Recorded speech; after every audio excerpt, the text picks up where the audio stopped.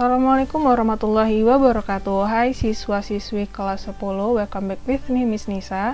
So today will be our ninth meeting yang berarti pertemuan ke-9 Nah untuk pertemuan ke-9 kali ini kita masih menggunakan buku yang sama ya. Silahkan perhatikan buku cetaknya. Materi kita adalah tentang present perfect Lebih tepatnya penggunaan penggunaan kata keterangan waktu just Already, yet, dan juga past simple jadi present perfect juga bisa menggunakan past simple. Tapi sebelumnya, I'd like you to do some quiz. Jadi kuisnya kurang lebih ada 5 soal, bisa diperhatikan di sini. Miss Michael minta kalian untuk memilih time expressions atau kata keterangan waktu yang sesuai. Jadi kata keterangan waktunya ada Miss berikan di ujung yang ada di dalam kurungnya. Silahkan dikerjakan waktu kalian satu menit tetapi selain memilih itu, Miss juga meminta kalian untuk memperhatikan kira-kira peletakannya di mana nih yang sesuai. Waktu kalian satu menit dimulai dari sekarang.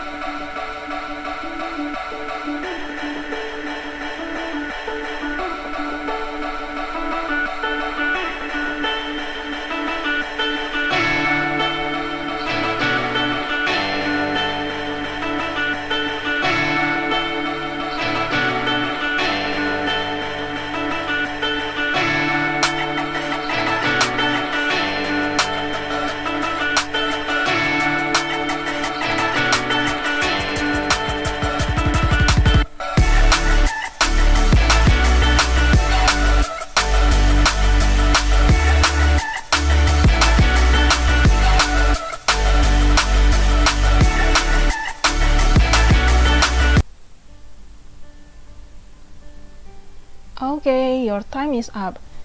So, sudah dapat nih jawabannya untuk kelima soal kita. Jadi, selain Miss minta tadi kalian memilih time expression yang sesuai, Miss juga minta kalian untuk menempatkan time expression itu di tempat yang sesuai. Kita lihat dulu nih, yang pertama, kita punya jawabannya adalah I lent my iPod to my sister but she hasn't given it back yet. Jadi, kata yetnya kita letakkan di belakang sebelumnya kan pilihannya adalah just jadi kita nggak pakai just tetapi pakai yet. Next kita punya soal yang kedua adalah I've just uploaded some videos on YouTube. Aku baru saja mengupload beberapa video di YouTube. Kita menggunakan just dan justnya berbeda dengan yet yang diletakkan di belakang justnya diletakkan di depan lebih tepatnya setelah ada kata have yang di sini. Ingat ya materi kita hari ini adalah tentang present perfect. The next one jawaban nomor tiga adalah already dan diletakkan setelah have juga. Diletakkan setelah have already baru masuk kata kerjanya dan sebagai kata kerja ketiga. The next one we have yet diletakkan di akhir. Mirip ya yetnya di akhir sama seperti yang di nomor satu. Nanti kita coba lihat penjelasannya. And the last one he wants to learn guitar and he has already found a teacher.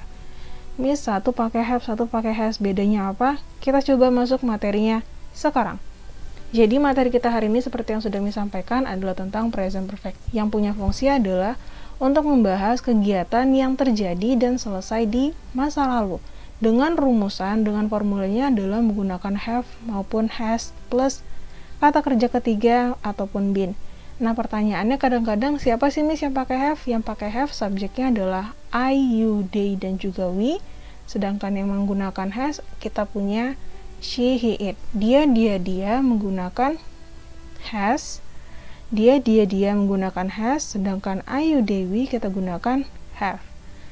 Ingat selalu diikuti kata kerja ketiga, sedangkan bin itu untuk dipakai jika diikuti dengan bentuk um, objek yang lainnya ataupun adjective seperti itu. Nah, fokus kita tadi kan tentang time expressions. Kita lihat dulu ya time expressions yang bisa dipakai untuk present perfect. Yang pertama, kita bisa menggunakan ever. Dia itu biasanya dipakai dalam bentuk pertanyaan. Seperti ini. Have you ever been to an art gallery? Pernah nggak sih kamu pergi ke galeri seni? Pertanyaan kayak gitu. Jadi kalau misalnya diletakkan di dalam bentuk pertanyaan, have dulu dipakai uh, sebagai auxiliary baru masuk subjeknya lalu kita letakkan time expressionnya. Ingat time expression yang kita pakai di sini adalah ever. Tadi Miss ingat saya present perfect itu menggunakan kata kerja ketiga. Yang mana sih Miss kata kerja ketiganya? Ini, kita punya been. Lanjut ya. Selain ever, kita punya never. Bedanya ever dan never adalah ever pernah, never nggak pernah. That's why never digunakan dalam kalimat negatif. Contohnya seperti ini, my grandparents have never left Medan. Kakek dan nenekku nggak pernah meninggalkan kota Medan. Seperti itu. Lalu yang lain kita punya adalah since then. Dia memenangkan X Factor pada tahun 2006. Sejak saat itu dia telah menjual jutaan album. Has sold itu adalah bentuk present perfect. Kenapa pakai has miss? Karena subjeknya adalah he. Nah, kita menggunakan since then sebagai time expressionnya. Since then artinya adalah sejak saat itu. Lanjut ya. Selanjutnya kita punya adalah kalau menggunakan already. Already itu artinya adalah sudah. Jadi maksudnya di sini adalah e, telah terjadi lebih awal daripada yang diduga. Dia biasanya digunakan dalam kalimat positif atau kita sebut sebagai affirmative sentences. Contohnya seperti ini, I have already seen this film. Aku udah nonton loh film ini. Aku telah sudah menonton film ini. Jadi already itu penegasan kalau dia tuh udah melaksanakannya gitu. Next kita punya yang kedua adalah just. Bedanya already dengan just adalah just itu GUST telah terjadi sangat baru, baru aja siap gitu loh terlaksana. They have just left. Mereka baru aja pergi gitu dan mereka kata just ini digunakan dalam kalimat yang afirmatif juga. Jadi agak tricky tetapi intinya adalah kalau just itu baru aja terjadi. Lanjut ya. Yang ketiga, yang selanjutnya, yang keenam kalau misalnya kita hitung dari sebelumnya, yet. Yet itu digunakan untuk kalimat negatif dan juga interrogatif. Maknanya di sini adalah dia belum terjadi tetapi mungkin aja akan terjadi.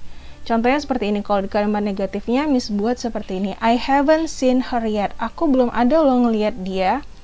Kalau dalam bentuk pertanyaan, has she written any songs yet? Perhatikan yang sudah Miss letakkan di sini contohnya. Kata yet diletakkan di akhir. Apa memang seperti itu, Miss? Iya, kata yet harus diletakkan di akhir. Berbeda kalau misalnya already dan just, mereka diletakkan setelah auxiliary-nya lalu diikuti dengan kata kerja ketiga. Kalau yang di sini already pakai sin kalau yang just pakai left. Jadi berbeda ya. Diingat pelan-pelan dilatih supaya lebih nempel.